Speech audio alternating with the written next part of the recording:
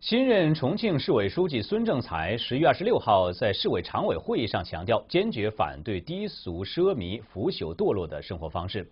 评论人士认为，孙政才的这番话从另外一个角度告诉人们，在中国的官场上，无人不贪，无人不色，没有人愿意抛弃腐败堕落。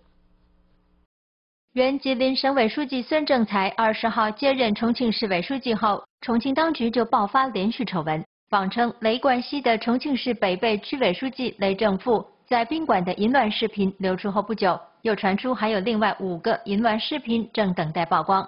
同时有报道指称，重庆还有多个高官有类似的情况。雷正富淫乱视频事件的第一爆料人、人民监督网主编朱瑞峰向新潮人表示，最初一位自称重庆公安局内部公安干警只给了他雷正富的淫乱视频。在朱瑞峰采访视频当事人雷正富后。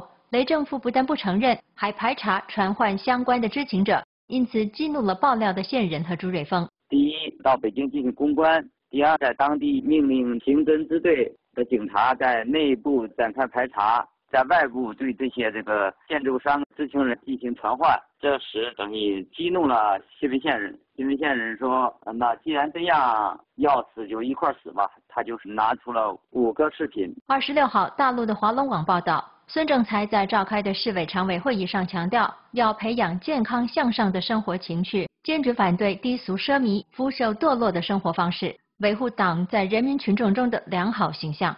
旅美的中国社会问题研究人士张健认为，孙政才的这番话揭示了中共官员无人不贪、无人不色的现实。重庆市委书记呢这一番话呢，也给我们一个很有意思的一个警示、提示作用。那就是说，在中国的官场，其实是无人不贪、无人不色，呃，没有人不去腐败堕落。可以说，廉洁清正早已经远离了共产党。